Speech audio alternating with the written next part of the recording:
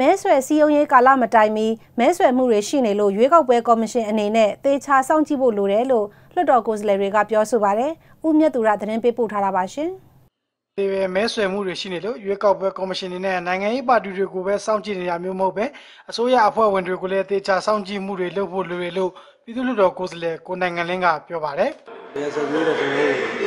တို့ပြောလို့ကြီးရတယ်ပေါ့။အဲစီးပွားဆိုတဲ့ဂျာတဲ့တဲ့လာတယ်ပြီးတော့ဒီတဲ့အခါမှာ ဒီကပြည်သူ့ဓမ္မပြည်သူ့ဓမ္မဆိုပြီးတော့ဒီသူတို့ပါတီအနေနဲ့ election message ခေါ်တာပေါ့နော်ဟိုရွေးကောက်ပွဲနဲ့ပတ်သက်တဲ့သူတို့ဒီလိုစီယုံနဲ့အချက်လက်အဲ့ဒါတွေပါတဲ့ဟာဒီအုပ်ချုပ်ရေးတွေဝေထားတယ်ဆိုတာကျွန်တော်အသက်တွေထောင်လာရခဲ့တယ်ဒါနဲ့ပတ်သက်လို့ကျွန်တော်ဒါဥပဒေနဲ့မညီညွတ်ဘူးလို့ပြောတယ်အဲ့လိုဆိုတော့ကျွန်တော်တို့အခြေခံဥပဒေအခြေခံဥပဒေ232တောက်ဝေးသေးတယ်နော် ဝင်ကြီးတွေကဝင်ကြီးဖြစ်ပြီးဆိုတာလည်းပါတီနိုင်ငံရေးကိုကင်းရှင်းရမှာဆိုတာအတိအကျခံရတယ်နောက်တစ်ခုကဒီကာလဟာမဲဆွယ်တဲ့ကာလမဟုတ်သေးဘူးမဲဆွယ်တဲ့ကာလမဟုတ်တော့ဒီလိုမဲဆွယ်တဲ့ပုံစံမျိုးသူလုပ်လို့မရဘူး။ခုလိုမျိုးရွေးကောက်ပွဲမဲဆွယ်စည်းရုံးရေးကာလမရောက်ခင်မဲဆွယ်တာမျိုးက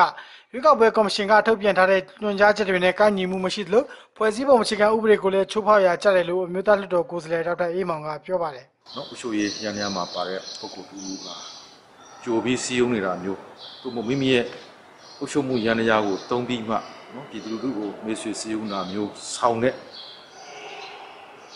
လှုပ်ရှားမှုအားလုံးဟာဖွဲ့စည်းမှုအခြေခံဥပဒေနဲ့ညီပါတယ်တရားစပြိုးရေးနဲ့ဆယ်မြောင်းဝင်ဌာနပြည်တော်စုဝင်ကြီးဦးမြင့်လိုင်ဟာ2010ရွေးကောက်ပွဲတုန်းကနေပြည်တော်ကောင်စီနယ်မြေဒက္ခိဏသီရိမြို့နယ်လွှတ်တော်ကိုယ်စားလှယ်ဖြစ်ရွေးကောက်ခံရပြီးလက်ဆယ်ဝင်ကြီးဖြစ်ခန့်အပ်ခြင်းခံခဲ့ရတာဖြစ်ပါတယ်။လာမယ့်ရွေးကောက်ပွဲကိုအော်တိုဘာလကုန်နိုဝင်ဘာလပထမပတ်မှာပြုလုပ်မှာဖြစ်တယ်လို့ရွေးကောက်ပွဲကော်မရှင်ကပြောဆိုထားပါတယ်။ ပါတီတွေအနေနဲ့မဲဆွယ်စည်းရုံးရေးလုပ်ငန်းတွေဆောင်ရွက်ဖို့ဧပြီလ30ရက်နေ့နောက်ဆုံးထားလျှောက်ထားကြဖို့ကော်မရှင်ရဲ့မတ်လ17ရက်ရင်းထုတ်ပြန်ချက်မှာဖော်ပြထားပါတယ်။ကျွန်တော်မြတ်သူရပါ